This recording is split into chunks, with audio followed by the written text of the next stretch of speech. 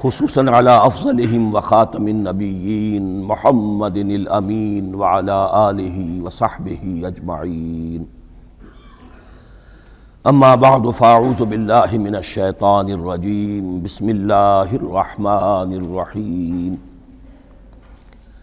अल्हम्दुलिल्लाहि रब्बिल आलमीन अर्रहमानिर्रहीम मालिकी यौमिद्दीन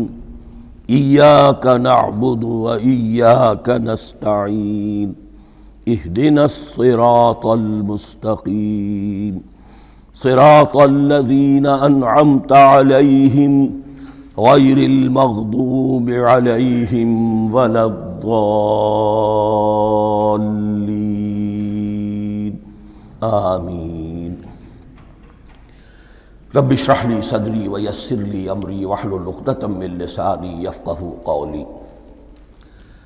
अल्लाहुम्म रब्बना अलहिमना रुशदना वइज़ना मिन शुरूर अनफुसिना।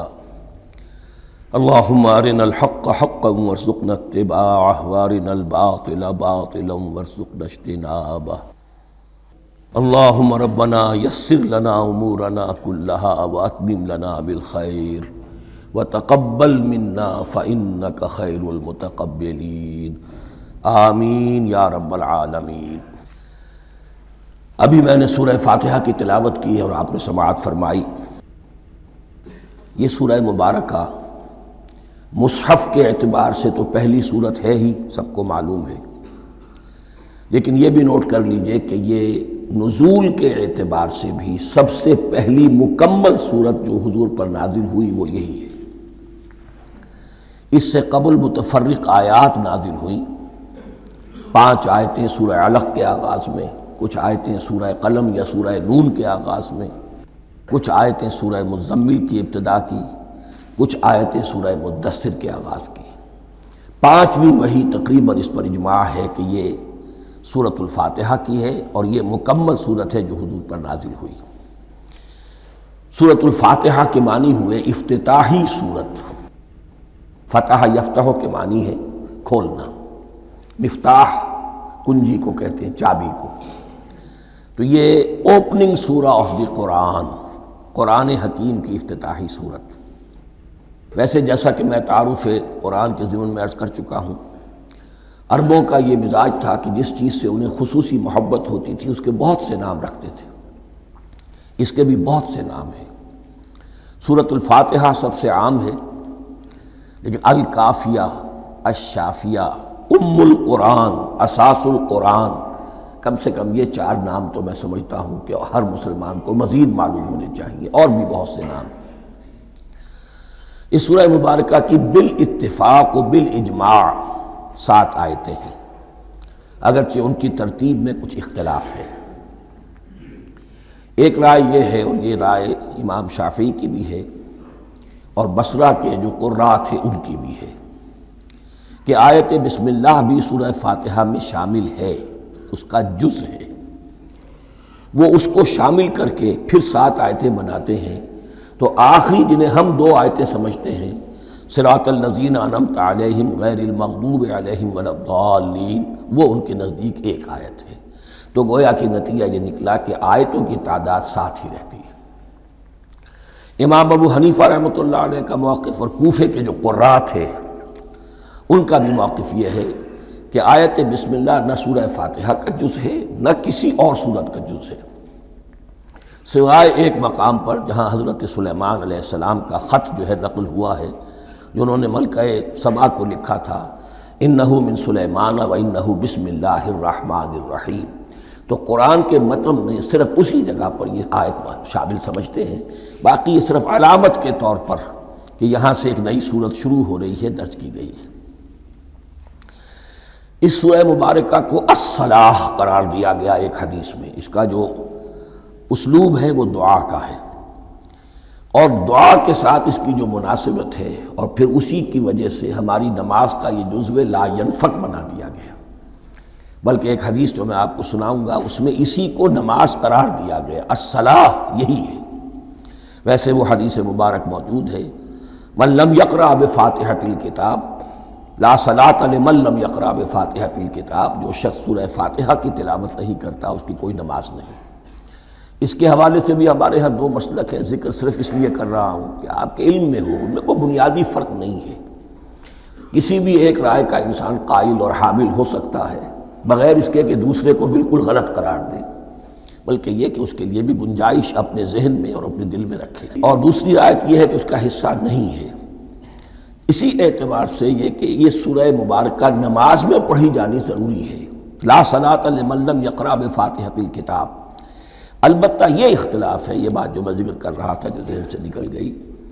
कि आया मुख्तदी जो है इमाम के पीछे खड़ा होकर जब नमाज़ पढ़ रहा हो तो क्या उस सूरत में भी उसके लिए लाजिम है कि सूरह फातिहा पढ़े? इसमें दो राय हो गई, बल्कि तीन।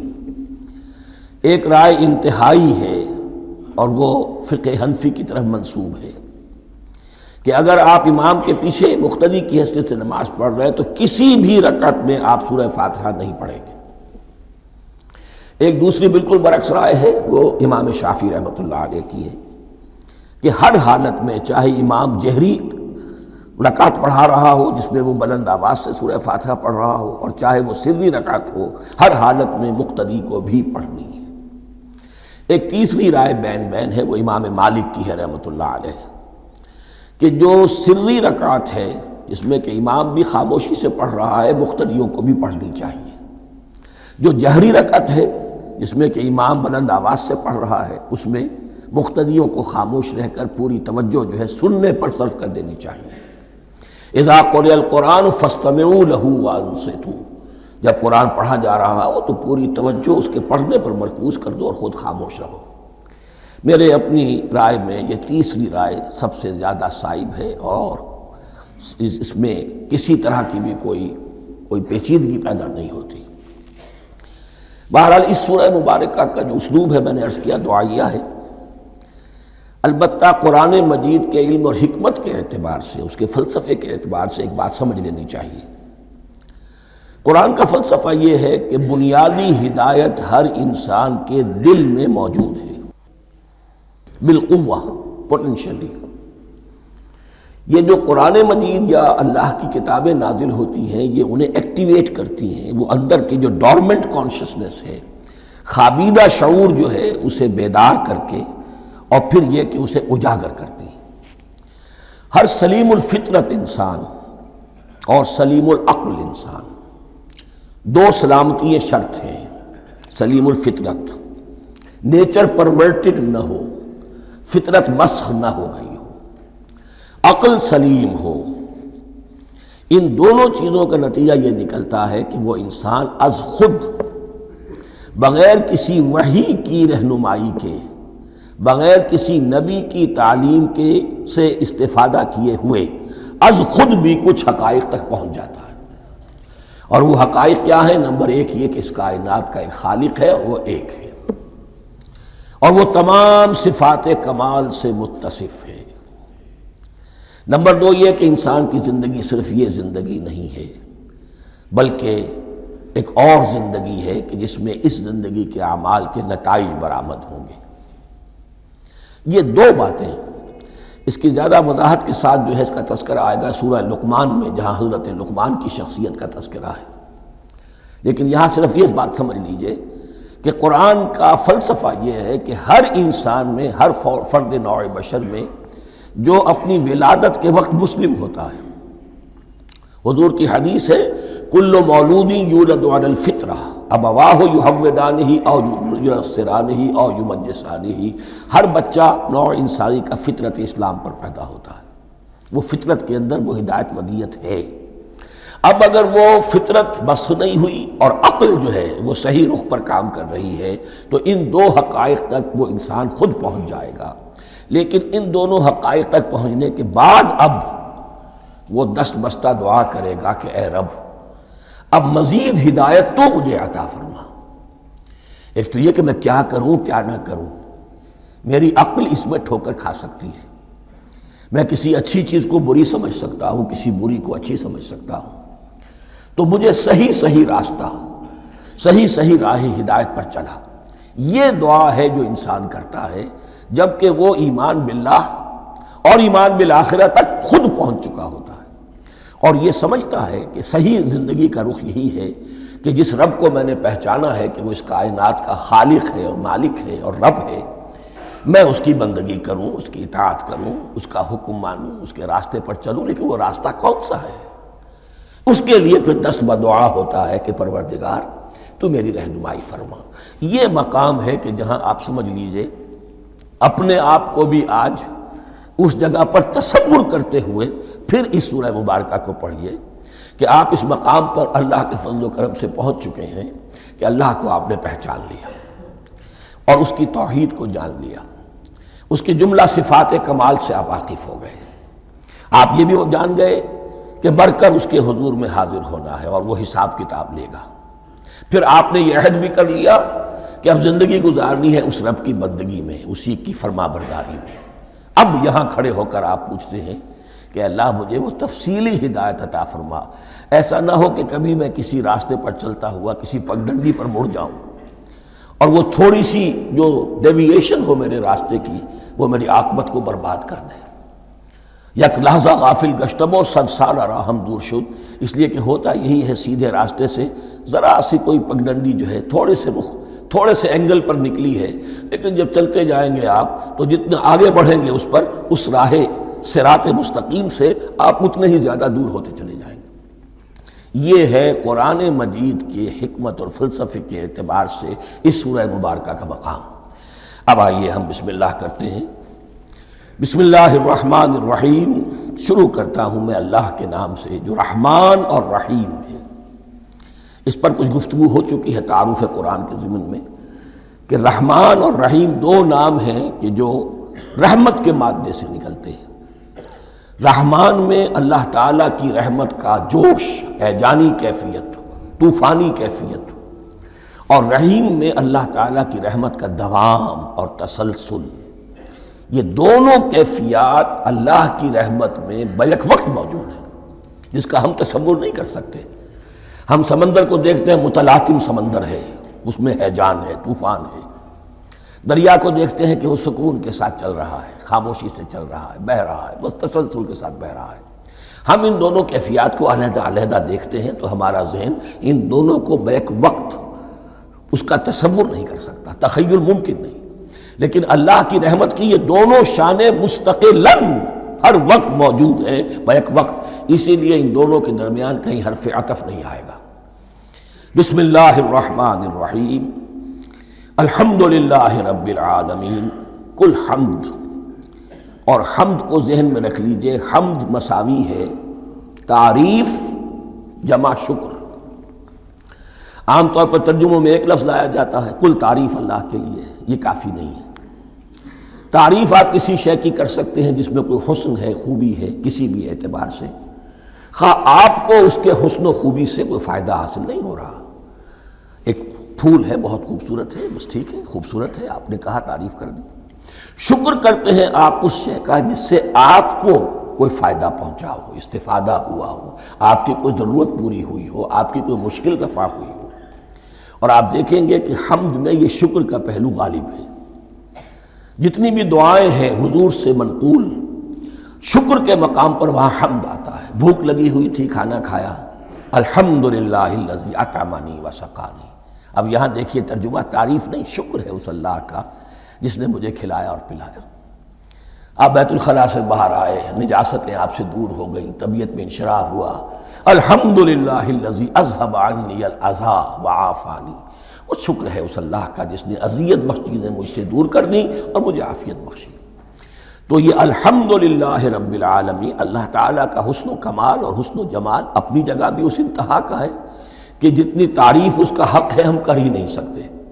लेकिन उसके एहसानात और इनामात हम पर इतने हैं कि हम उनको भी गिन नहीं सकते। लिहाजा एक ही एहसा हमने कर दिया अलिफ्लाम के साथ, अल्हम्दुलिल्लाह रब्बिल आलमीन। तमाम तारीफ़ें और कुल शुक्र अल्लाह के लिए हैं कि जो तमाम जहानों का परवरदिगार है, रब है, मालिक है। रब में एक मफहम होता है रबूबियत का और उसमें मफहम शामिल होता है तरबियत का रब बयानी सगीरा। तो मालिक होना और तरबियत देना। आप जिस शय के मालिक होंगे, आप चाहेंगे उसमें बढ़ोतरी हो, उसमें इजाफा हो वो नशो नुमा पाए। तो ये दोनों चीज़ें आपस में एक दूसरे का जुड़ी हुई है, परवरदिगार भी और मालिक भी। आमतौर पर अरबी में रब का लफ्ज़ मालिक के लिए आता है। रब्बुल बैत रब्बुद्दार रब्बुल माल। तो मालिक वहाँ पर ज़ाहिर बात है कि उससे मुराद क्या है? माल वाला, घर वाला, घर का मालिक। तो कुल शुक्र और कुल तारीफ़ उस अल्लाह के लिए है जो तमाम जहानों का मालिक भी है और परवरदिगार भी है। और रहमान रहीम रहमान है और रहीम है। अब दोबारा इसकी मैं वजात नहीं करूँगा। मालिक यौमुद्दीन। यौम दीन का मुख्तार मुतलक है। दीन अरबी ज़बान में कहते हैं बदले को। दिन्ना हम कमा दानो। कमा तदीनो तो दानो। ये कहावत है। जैसे उर्दू में हम कहते हैं, जैसा करोगे वैसा भरोगे। कमा तदीन हो तदान तो दान। तो ये है बदला। इसका बुनियादी मफहूम जो है वो बदला है। तो बदले का एक दिन है, जिस दिन फैसला होगा कि कौन क्या कमा कर लाया है उसे क्या बदला मिलना चाहिए। आया उसका बुराइयों का पलड़ा भारी है कि उसे सज़ा मिलनी चाहिए, या उसकी हसनात और नेकियों का पलड़ा भारी है कि उसे जजा मिलनी चाहिए, उसका इनाम और इकराम के साथ मामला किया जाना चाहिए। वो एक दिन है, इसे हम यौमुल क़यामा कहते हैं। और लेकिन असल बात जो यहाँ कही गई, यानी एक जुमले में तीन बातों का इतराफ़ हो रहा है। बास बादल मौत, एक दिन आएगा कि हम मरने के बाद तमाम इंसान उठा लिए जाएँगे। फिर हिसाब किताब। फिर अल्लाह के यहाँ हाजिरी होगी और हिसाब किताब होगा। और तीसरा यह कि उस हिसाब किताब के दिन का मुख्तार मुतलक अल्लाह है।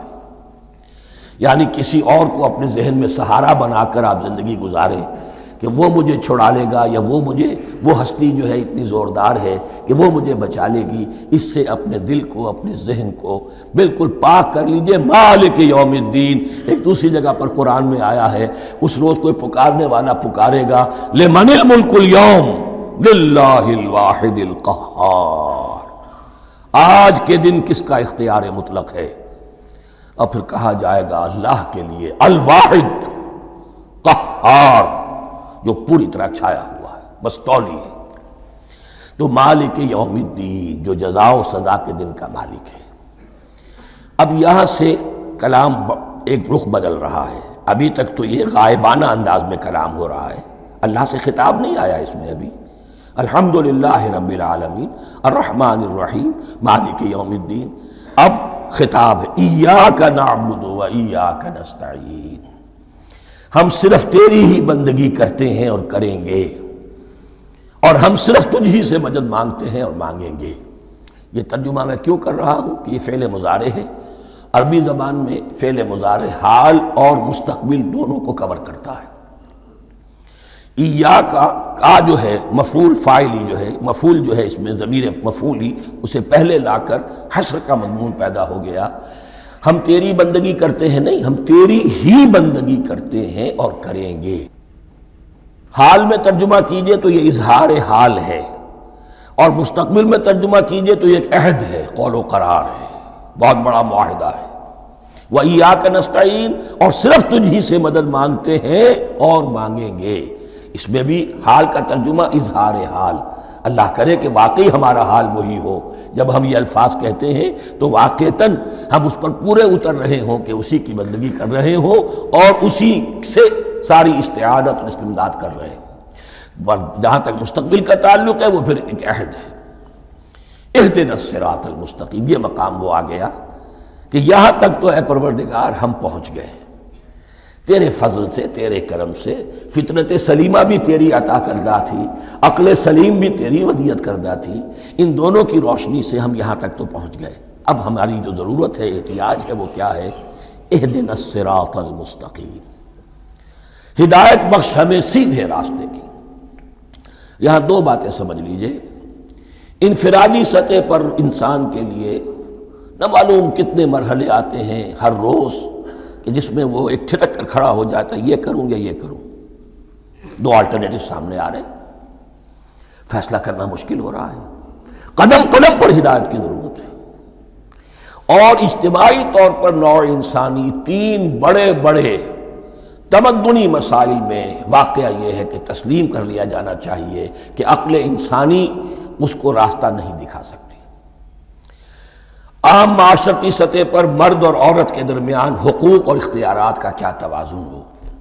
नामुमकिन है। इंसान तय नहीं कर सकता। इंसान या मर्द है या औरत है।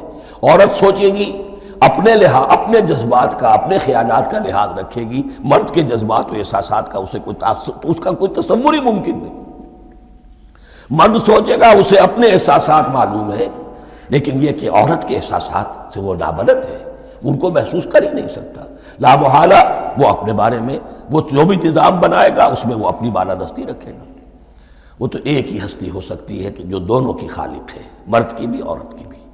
और उसको दोनों से मोहब्बत है, दोनों का खैर खा है, दोनों का रब है, दोनों को परवान चढ़ाना चाहता है। इसी तरह फ़र्ज़ और माशरा या रियासत। हुकूमत और रियासत हमेशा ये चाहती है कि सारे इख्तियार हमारे हाथ में आ जाएँ।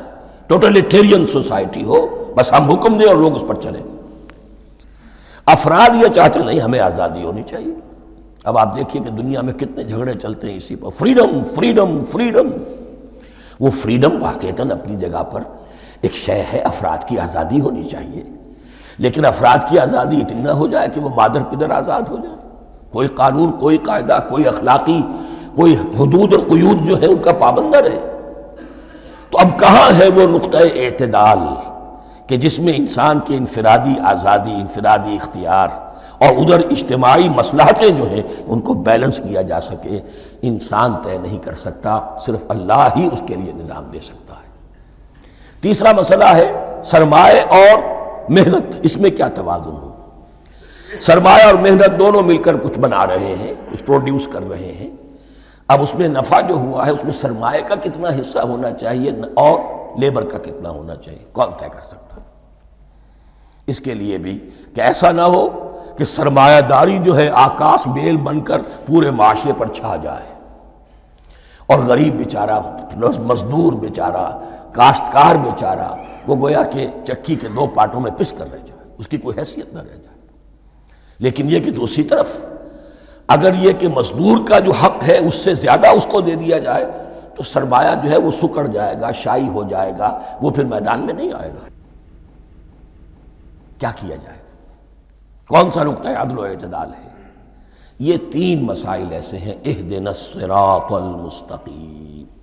तो यूँ समझिए कि एक जो बुनियादी हिदायत थी, एक अल्लाह को पहचान लेना यह जान लेना कि कुल हुस्न जमाल और तमाम इनाम व इकराम का मंबा उसकी ज़ात है।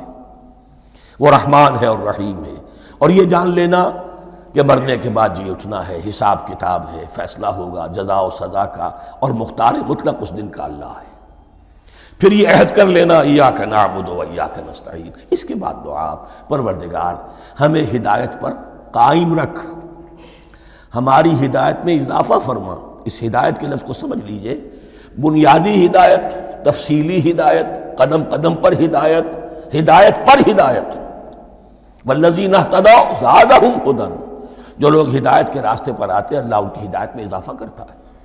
तो ये कदम कदम पर हमें हिदायत की ज़रूरत है और मरहलावार ज़रूरत है। हिदायत इसको भी कहते हैं कि किसी ने आपसे कोई पता पूछा, आपने कहा, इधर जाना, फिर दूसरी गली में मुड़ना, फिर जाना, तीन, दो, तीन लाइटें, चले जाना, फिर मुड़ना, वगैरह वगैरह। ये भी हिदायत है। नजरी तौर पर आपने बताया है।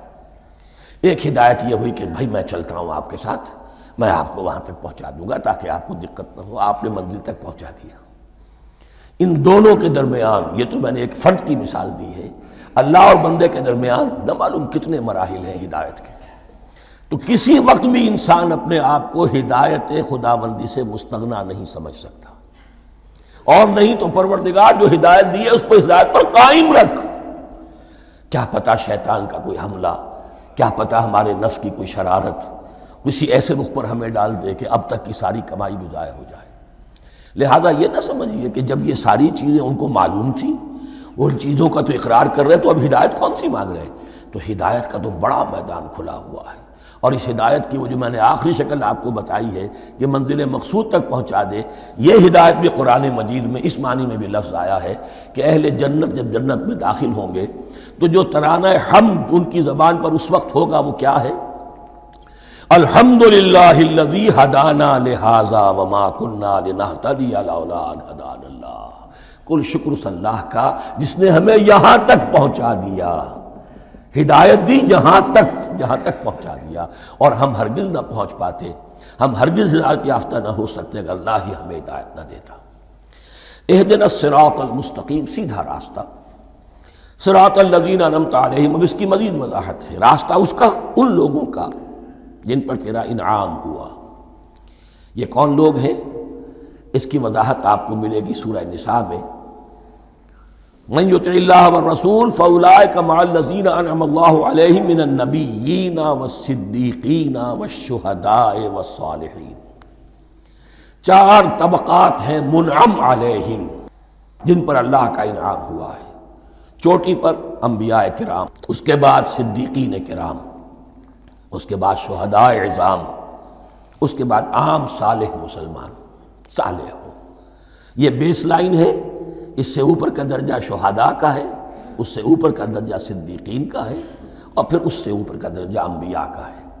अम्बिया में से फिर वो भी होते हैं कि जो उलआज़म में मिनर रसुल हैं, लेकिन ये चार तबक़ात हैं, उनके रास्ते पर हमें चला।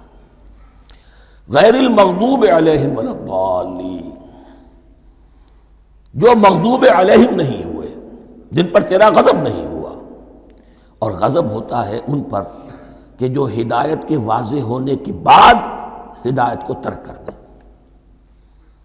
वो है मकदूब अलहम। जिन्हें हिदायत मिल गई हो, हिदायत को पहचान लिया हो, फिर अपनी शरारत नफ्स की वजह से, अपनी नफसानियत की वजह से, अपने तकबर की वजह से, अपने हसद की वजह से वो उस रद्द उस हक को रद्द कर दे, उसको तर्क कर दे, उन पर अल्लाह का गज़ब आता है। और इसमें उसकी बहुत बड़ी मिसाल तारीख़ के एतबार से यहूदी है। अल्लाह ने उन्हें हिदायत दी, किताबें अता की तोहरात इंजील, ज़बूर, सैकड़ों नबी उनमें मबूस किए। चौदह सौ बरस तक नबूत का तार टूटा ही नहीं, मुसलसल। इब्तदा में भी दो नबी, मूसा और हारून और अख्ताम पर भी दो नबी, ईसा और याहिया वसलाम और इनके माबेन कोई लम्हा नहीं आया है तारीख़ बनी इसराइल में, जबकि कोई ना कोई नबी मौजूद ना हो लेकिन उन्होंने अपनी शरारत नफ्स की वजह से, हिदायत तौरात से भी मुँह मोड़ा। और फिर सबसे बड़ी बात यह कि हिदायत मोहम्मदी से, हिदायत कुरानी से भी सल्लल्लाहु अलैहि वसल्लम मुँह मोड़ा, वो है मकजूब अलैहि वलद्दालीन और ना ही गुमराह हुए। ये लफ्ज़ जो आता है अरबी ज़बान में, गुमराह का भी है और तलाश हक में भटकने वाले का भी है। एक वो शख्स है जिस पर हक अभी वाजे नहीं हुआ, वो तलाश में है। उसके लिए भी दौल का लफ्ज़ आएगा। इसी तरह कोई शख्स किसी के इश्क और मोहब्बत में ऐसा हो जाए, दीवाना हो जाए, उसको भी दौल कहते हैं। यानी उसके ऊपर जज्बात का इतना गलबा हो गया है किसी की मोहब्बत और इश्क की बिना पर। तो हुजूर के लिए ये लफ्ज आया है फहदा। और ये तो सूरत है, अक्सर बेशतर लोगों को याद होगी। तो ये जो दुआल का लफ्ज़ है, इसमें समझ लीजिए, ज़रूरी नहीं है कि वो गुमराह हो, बल्कि वो भी कि जो अभी राह हिदायत की तलब में, उसके हसूल के लिए उसकी तलाश में कोशा है। और वो भी कि जो किसी मुगालते की वजह से हक से मुनहरिफ हो जाए, ये भी जान लीजिए।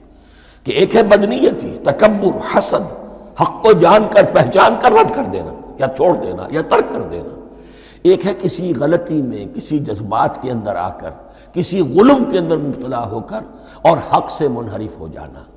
इसकी जो सबसे बड़ी मिसाल है, वो नसारा है, ईसाई है। हज़रत मसीह को उन्होंने माना, लेकिन गुलूफ किया। ये लफ्ज़ आएगा आगे लातलूफ़ी दीन कुम अपने दीन में गुलूफ न करो।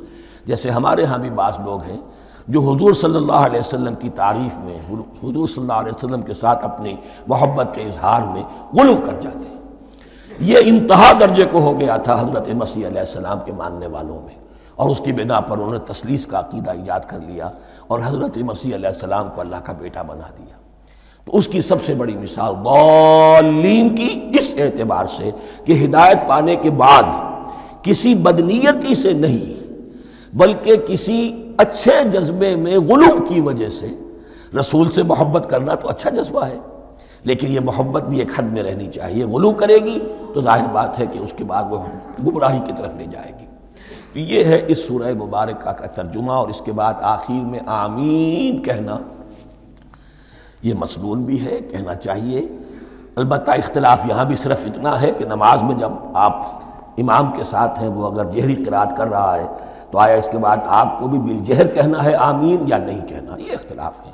इनमें कोई फ़र्क वाक़ नहीं होता। यह चीज़ मुतफ़ है कि कहना है, आमीन। बल्कि ये आमीन तो यहूदियों में है ये आमीन जो है, ये ईसाइयों में भी है। उनकी भी जो प्रेयर लॉर्ड्स प्रेयर है, उसके बाद एमिन वो एमिन कहते हैं, वो फ़र्क, वो लफ्ज़ एक ही है। इसलिए कि इबरानी ज़बान और अरबी ज़बान, या तो हम ये कह सकते हैं कि दोनों बहनें हैं।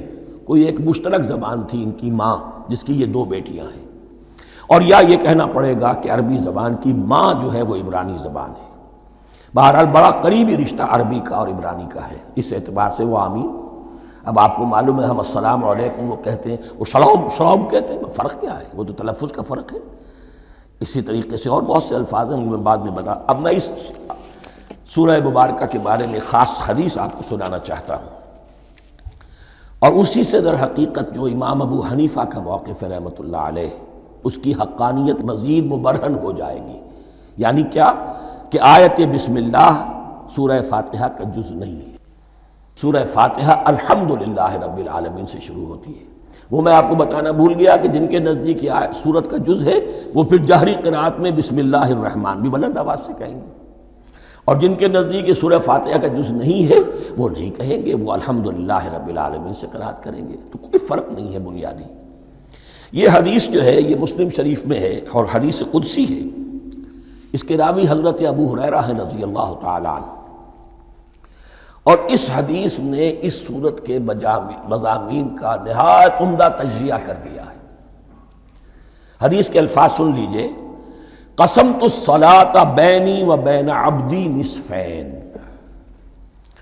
अल्लाह ताला फरमा रहे हैं, हदीस कुदसी है। मैंने नमाज़ को सलात को अपने और अपने बंदे के दरमियान आधा आधा तकसीम कर लिया। फनिसफ़ा ली व निसफ़ा अब्दी। उसका निस जो है वो मेरे लिए है और निस जो है वो मेरे बंदे के लिए है। वाले अब्दी माशाल। और जो मेरे बंदे ने मांगा, मैं उसे दूँगा, मेरा वादा है, या मैंने उसे दिया। इसके बाद इसकी तफसील आती है।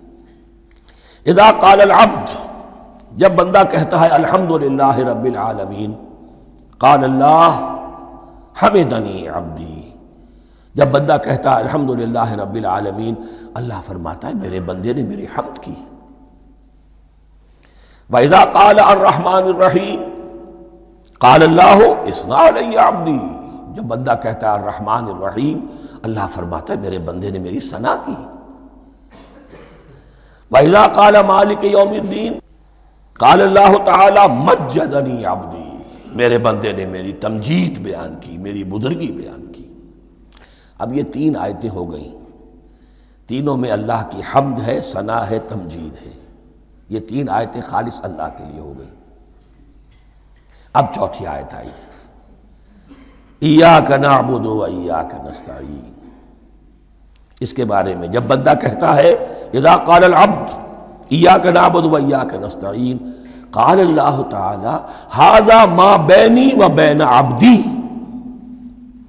अब्दी मासाल ये मेरे और मेरे बंदे के दरमियान है ये तो यूँ समझिए कि ये गिरा लग गई है मेरे और मेरे बंदे के माबेन उसने मुझसे कौलो करार किया है उसने मेरी बंदगी का एतराफ़ किया है उसने तस्लीम किया है कि मेरी ही बंदगी करता है और करेगा और मुझसे मदद चाहिए हाजा माँ बैनी व बैन ये मुआदा है। मुआदा दो फरीक़ों के माबेन होता। ये मेरे और मेरे बंदे के माबेन है। वाले अब्दी मासाल। और मैंने अपने बंदे को दिया जो उसने मांगा। वो मेरी मदद चाहता है। मेरी मदद उसके शामिल हाल रहेगी। फैज़ा काला। और जब बंदा कहता है ए दिन सिरातलमस्तकीम सिरातलनजीना नमतम गैरमकूब वरद्दालीन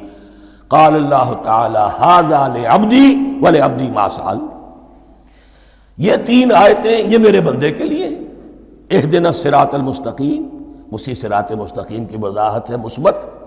सिरातलजीन आनम उसी सिरात मुस्तकीम की वजाहत है मनफी अंदाज में गैर मकदूब ये सब मेरे बंदे के लिए है और मैंने अपने बंदे को दिया जो उसने मांगा। इसको मैंने एक मरतबा, ये तराजू की शक्ल में इसको लिखवाया था। देखिए, ये ईया का नाबुद व ईया का नस्ताई ये है वो तराजी की वो डंडू। वाव जो है ईया का नाबुद व ईया का नस्ताइन वाव जो है, गोया के वो मुठ है, जिससे कि तराजू को पकड़ा जाता है। इधर एक पलड़ा है, जिसकी तीन आयतें हैं। अल्हम्दुलिल्लाह रब्बिल आलमीन अर्रहमान रहीम, मालिक यौमिद्दीन। इसका नतीजा क्या निकला? ईया का नाबुद। आपने शायद ये सुना भी हो, एक बहुत ही उम्दा किरात का जो रिकॉर्ड है, कारी अब्दुल बासित अब्दुल समद का, वो यहीं से चल कर सूरह फातिहा की किरात करके या का नाबुद पर आकर रुकता है। अल्हम्दुलिल्लाह रब्बिल आलमीन अर्रहमान रहीम, मालिक यौमिद्दीन ईया का नाबुद। गोया कि यहाँ ये सूरत बिल्कुल हाफ़ हो गई है। तीन आयतों में अल्लाह की हमद है, सना है, तमजीद है, जिसका नतीजा हम तेरी ही बंदगी करते हैं, तेरी ही इतात करेंगे।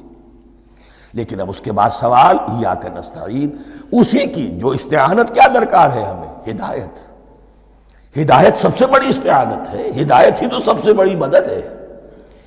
एह दिन सरातमस्तकीम सरातलजीन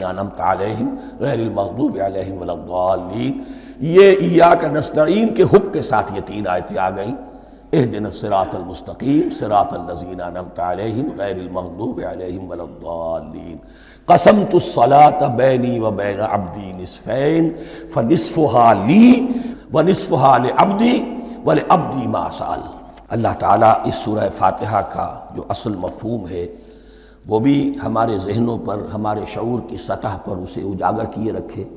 हमें तोफ़ी दे कि जब भी पढ़ें, जब भी सुने तो वो कैफियत अगर हो जाए। इसलिए कि एक हदीस है कि असलात मेराजुलमोमिन नमाज़ तो अहले ईमान के हक़ में, मेराज के दर्जे में है। इस हवाले से हम ये समझ सकते हैं कि कोई वक्त ऐसा आ सकता है कि इंसान को वाक़ता रूह इंसानी वाक़ता अल्लाह के ये जवाब सुने। अनहोनी बात नहीं है होता है खिताब आखिर। उठता है हिजाब आखिर, करते हैं खिताब आखिर। ये तो होता है। मुखातबा इलाही तो मैंने अर्ज़ किया कि साबित है।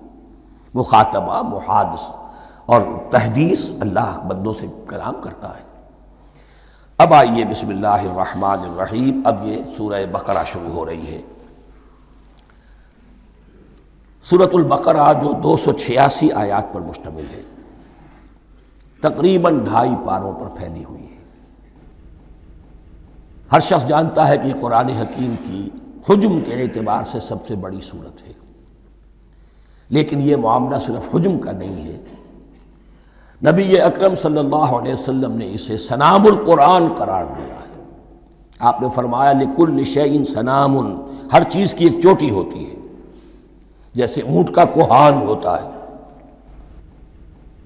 वह सनामुल कुरान अल बकरा सनामुल कुरान की चोटी जो है, वो सूरतुल बकरा है।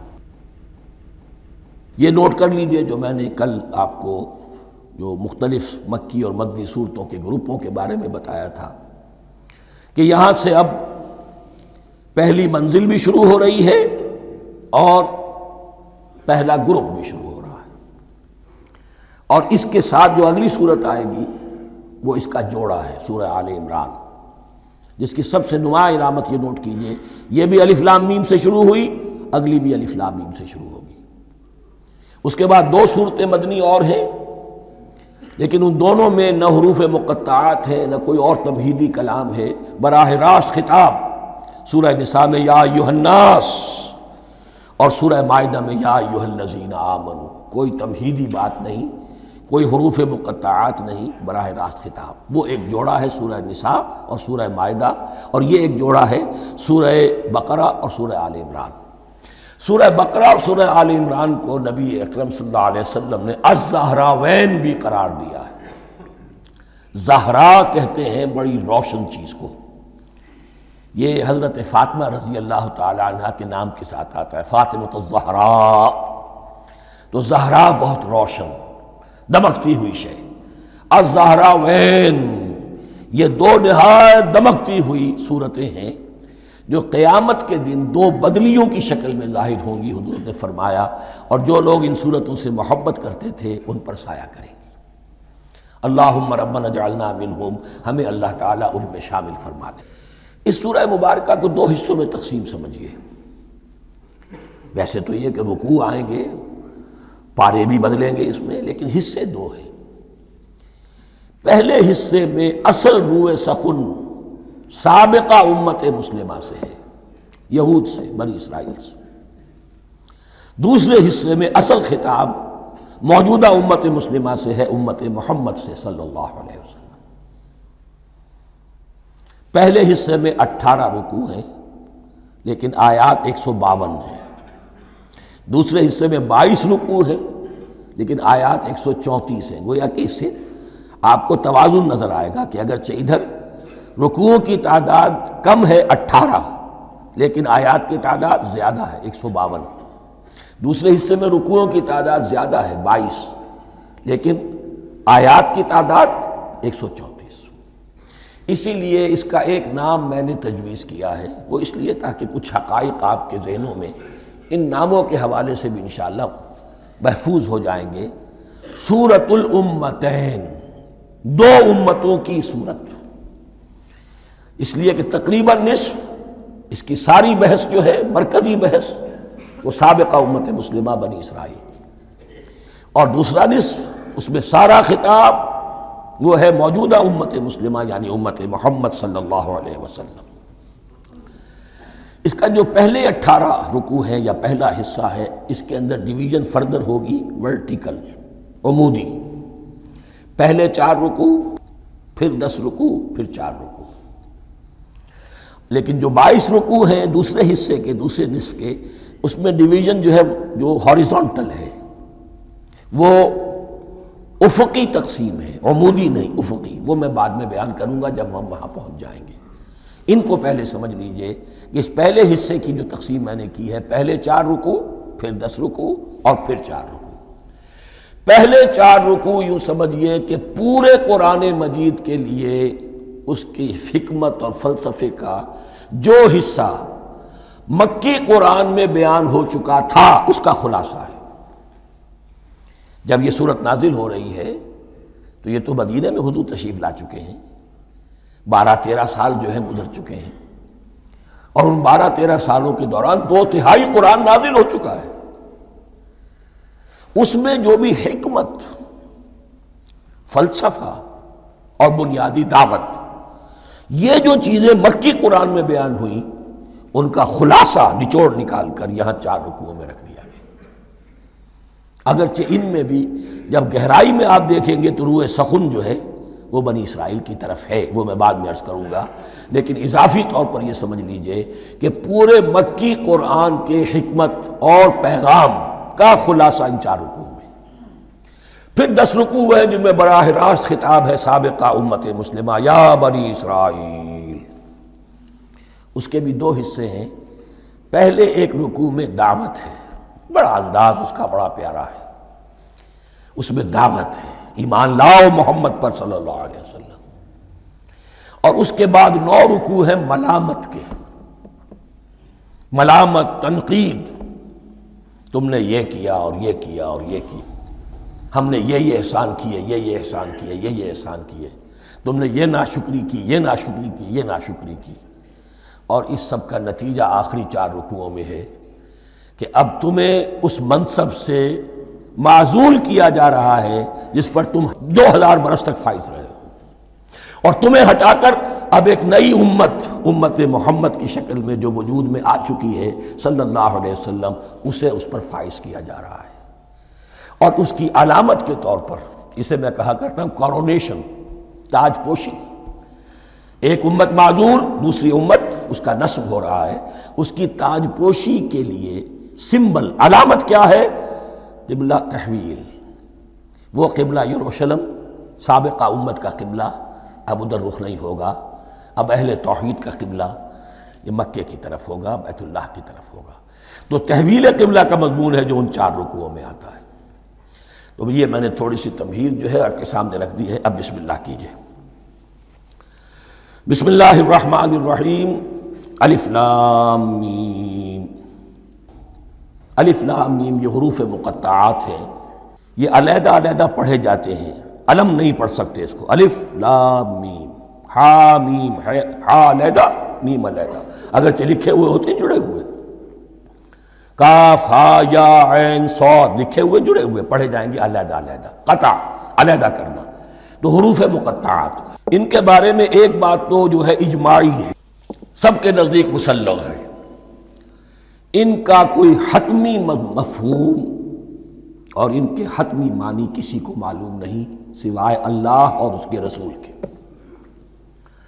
इस मानी में यूँ भी कहा गया, ये कोड वर्ड्स हैं। जैसे कि कोई मैसेजेस जो हैं इधर उधर भेजे जाते हैं, सीक्रेट मैसेजेस तो कुछ कोड वर्ड्स होते हैं, जिससे समझ में आता है कि ये बात वाक़ सही सोर्स से आ रही है। अल्लाह आलम। लेकिन इसका कोई मफहूम और इसके मानी जो है, वो इत्तेफाक इस पर है, अगरचे बाज़ हजरात ने कुछ अपनी सी कोशिश की है, कुछ मफहूम जो है बनाने की, वो अपनी जगह पर है।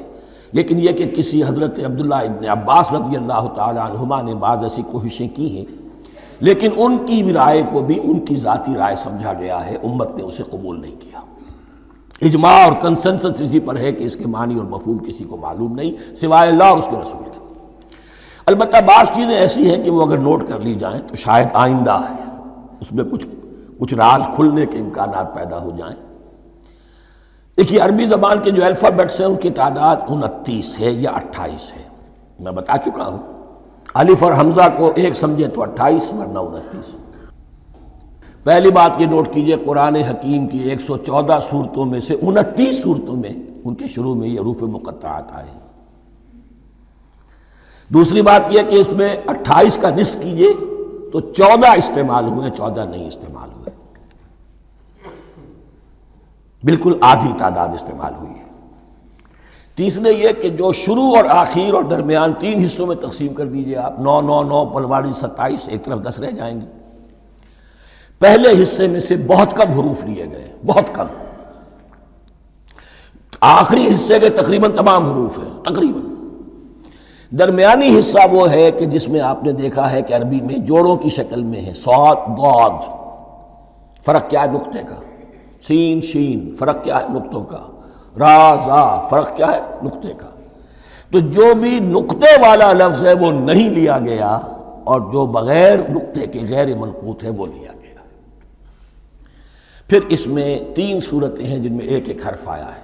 सूरह काफ, सूरह नून, सूरह सौद। फिर सूरतें हैं जिनमें दो दो आई हैं, जिनमें तीन तीन आए हैं, फिर चार चार आए हैं। दो ही सूरतें हैं जिनमें चार चार हैं और दो ही सूरतें जिनमें पाँच पाँच हैं। तो ये है सिर्फ़ यूँ समझिए कि आदाद शुमार। इसके हवाले से कुछ आदमी गौर करे तो शायद कोई बात निकले। बाकी वो मिसाल मैं आपको बता देता हूँ कि हज़रत अब्दुल्ला इबन अब्बास ने एक राय ज़ाहिर की कि अलिफ लाम मीम दर हकीकत एक जुमले का खुलासा है। अनल्लाह आलमो पहला लफ्ज अना, उसका अलिफ ले लिया। दरमियानी लफ्ज अल्लाह, उसका दरमियानी लाम ले लिया। तीसरा लफ्ज आलमो ये आखिरी लफ्ज है, आखिरी हर्फ मीम ले लिया। अनल्लाह आलमो मैं अल्लाह जानता हूँ। वल्लाह आलम वाक़ता अल्लाह ही जानता है। ये हज़रत अब्दुल्ला इबन अब्बास की राय है लेकिन अगरचे उन्हें हिब्रुल उम्मत माना गया है। लेकिन यह कि उनकी इस राय को भी अक्सर व बेशतर मुफसरीन ने कबूल नहीं किया। अब जो दो पहले दो रुकू हैं इस सूरह बकरा के, उनके बारे में, तावील आम और तावील ख़ास का एक बड़ा बुनियादी फ़र्क है जो नोट कर लेना चाहिए। जिस वक्त ये सूरत नाजिल हो रही है, मैं अर्ज़ कर चुका हूँ कि बारह साल हो चुके थे हुजूर को अपना फरीज़ा नबूत और रसालत अदा करते हुए। एक जमात अच्छी भली तैयार हो चुकी थी जिन्होंने हुजूर की दावत पर लब्बैक कहा, ईमान लाए और आपकी तालीमत पर अमल किया। वो एक ग्रोह मौजूद था। ये अबू बकर है, ये उमर है, ये उस्मान है, ये तलहा है, ये ज़ुबैर है, ये अब्दुलरहमान इबन औफ है, ये मुसलम बिन उमैर है, देख लो। और एक ग्रोह वो था कि जो हक को जान कर पहचान कर महज अपनी जिद और हक दर्मी की बाइस, वो कुफर पर आ गया था। और अब एक तीसरा ग्रोह पैदा हो रहा था मदीने में आकर। वो अभी इम्ब्रियोनिक स्टेज में है कि जो दाई है, मुद्दई है कि हम मानते हैं, लेकिन हकीकत में नहीं मानते। ये तीन किस्म के ग्रोह दुनिया में हमेशा पाए जाएँगे। हमेशा। अब इसे मैं इसको ला रहा हूँ तावील आम की तरफ़। जब भी कभी कोई दावत उठेगी, इनकलाबी। एक होता है, वाज नसीहत, ठीक है? जिसने भी फ़ायदा उठाया, उठा लिया। एक होती है, दावत, इनकलाबी। वो इनकलाबी दावत का हदफ होता है, निज़ाम को बदलना। निज़ाम बदलता है तो ज़ाहिर बात है कि जो लोग उस निज़ाम में, जिनके वेस्टेड इंटरेस्ट हैं, और जिनको प्रिवलेजेस हासिल हैं, जिनके मफादात हैं, वो तो लाजमन अपने निज़ाम का तहफ़ करेंगे, टकराव होगा, तसादुम होगा। तसादुम में जानी नुकसान भी होगा, माली नुकसान भी होगा। ये गोया कि किसी इनकलाबी दावत के लवाजिम हैं अगर ये शायद ना हो तो इन दावत इनकलाबी है ही नहीं। इस एतबार से हर इनकलाबी दावत के जवाब में तीन तबके पैदा हो जाते हैं। एक वो कि जो उस दावत को कबूल करते हैं दयानत के साथ, खलूस के साथ, इखलास के साथ। और फिर पूरी जवा मर्दी का सबूत देते हैं, हर चबादाबाद अब जो आए सो आए। जान देनी पड़े, हाजिर हैं। माल देना पड़े, हाजिर है। कोई तकलीफ़ आए, कोई मुशक्क़त आए, कोई मुसीबत आए, कोई कुर्बानी करे, हाजिर जब पुकारा गया, वापस नहीं फेरा कोई फरमान जुनू का और तनहा नहीं लौटी कभी आवाज़ जरस की। खैरियत जा राहत तन से हत दामा, सब भूल गई मसलहतें अहले हवस की। एक वो लोग होते हैं। एक वो लोग होते हैं कि जो अड़ जाते हैं जिद पर हटदर्मी पर। मानने के बावजूद, जानने के बावजूद कि बात तो ठीक है जो कह रहे हैं। कैसे मान लें हमारी सियादत, हमारी चौधराहट, हमारे मफादात हमारे ये सारी चीज़ें, इन सब के ऊपर जद पड़ रही है। ये लोग अड़ जाते हैं और फिर कोई दावत, कोई नसीहत, कोई मजीद, इफ़ाम व तफीम उनके हक में मुफीद नहीं होती। इसलिए कि सही बात है जो कहते हैं कि सोते को तो जगाया जा सकता है, जागते को कैसे जगाए? कोई सोया हुआ है तो आप उसे जगा देंगे। जो जागा हुआ है लेकिन वो बना हुआ है, वो उठने को तैयार ही नहीं है तो आप कैसे उठा देंगे उसको? तो जो लोग जानबूझकर, हक को पहचान कर रद्द कर देते हैं, फिर उनके हक में कोई दावत, कोई नसीहत, कोई तबलीग, कोई इंजार कोई तबशीर मुफीद नहीं होती। तीसरा दर्जा ऐसे लोगों का होता है, जो या तो शुरू में आते ही शरारत के इरादे से कोई मसलहत है जिसकी वजह से इस दावत को कबूल कर लिया। कोई ज़ाती मनफात है जिसके लिए कबूल कर लिया। या ये कि शुरू में तो इखलास के साथ आते हैं, लेकिन जब कुर्बानी देने का वक्त आता है तो उनके अंदर सीरत और किरदार की वो मजबूती नहीं होती कि हर चबादाबाद ये नहीं होती। वो फिर डगमगाते रहते हैं। कभी कुछ चले, फिर कहीं ठिटक कर रह गए। फिर कहीं कुछ चले, फिर ठिटक कर रह गए। ये तीसरा तबका है कि जो कहता है, दावी, मुद्दई है कि हमने माना है, कबूल किया है, बात ठीक है। कुछ थोड़ा बहुत चलते भी लेकिन जहाँ मुश्किल आई, छिटक कर खड़े हो गए। औंधे मुँह गिर पड़े। ये तीसरा तबका है। इसके लिए लफ्ज़ हमारे यहाँ मुनाफिकीन भी है। लेकिन इस रुकू में आकर अभी, इन चार रुकुओं में नहीं, बल्कि सूरह बकरा में, मुकम्मल में भी कहीं निफाक का लफ्ज़ नहीं आया है।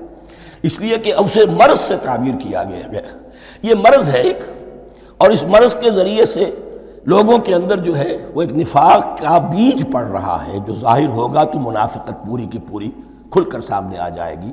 रोग है इंसानी शख्सियत का। इस हवाले से वो तीसरी, और ये चूँकि अहम तरीन हिस्सा था, और ये मर्ज अब शुरू हो रहा था मदीने में, मक्के में नहीं था, लिहाजा ज़्यादा तफसील से उसके बारे में गुफ्तु हुई। अब इन दो रुकनों का सिलसिलेवार मुताला इन इस दूसरी नशस्त में करेंगे अल्लाह